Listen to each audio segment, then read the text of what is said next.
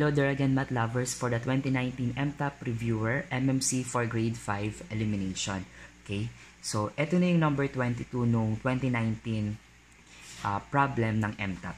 Okay? So, for number 22, what is the equivalent of the expression when written as a simple fraction? Okay? Ang expression natin ay 10% plus 1% plus 0.1% plus 0.01% plus 0.001% plus uh, k-indef infinite times 6. Sinabi, may, may tatlong ellipses yon that means yung number ay walang katapusan. So, all we have to do is to add numbers na walang katapusan. Okay?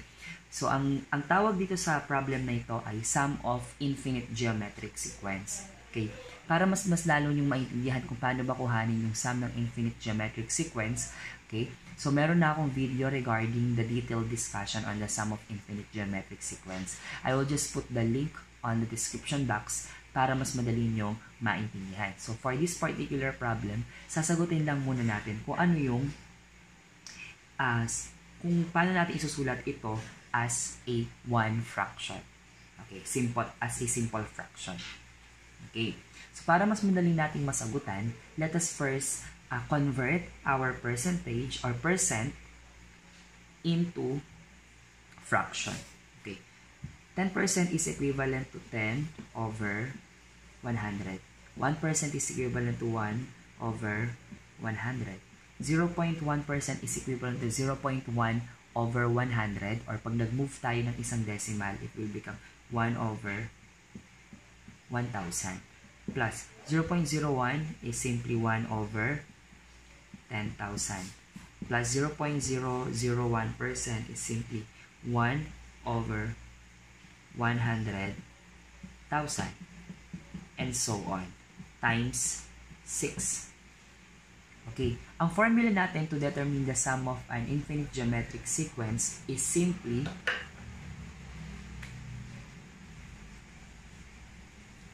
a sub 1 over 1 minus r. Okay. Where a sub 1, where a sub 1 is our first term and r is the common ratio. Okay? Yung first term na tinutukoy sa problem na to, ito lang yung unang-unang number ng sequence. That means, that is 10 over 100. Okay? Yung common ratio naman natin ay yun yung difference, ay yun yung quotient when we divide the succeeding term to the previous term. Usually, uh, sinosolve siya gamit yung yung dalawang magkasunod na term, okay? I-divide mo yung yung kasunod dun sa nauna. So alam naman natin na ang first term natin ay 10 over 100. So what we are going what we need to do is to find our R or common ratio. So R is equal to 1 over 100 divided by 10 over 100. Okay. R is equal to 1 over 100 divided by 10 over 100 can be converted as 1 over 10 kapag sinimplify natin siya. Okay. So, R is equal to 1 over 100 we are going to get the reciprocal of 1 over 10 multiplied. So, times 10 over 1.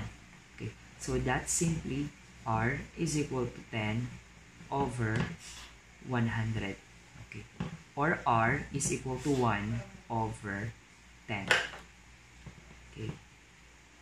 Since alam na natin yung ating R, we are now going to proceed with the formula, with this formula.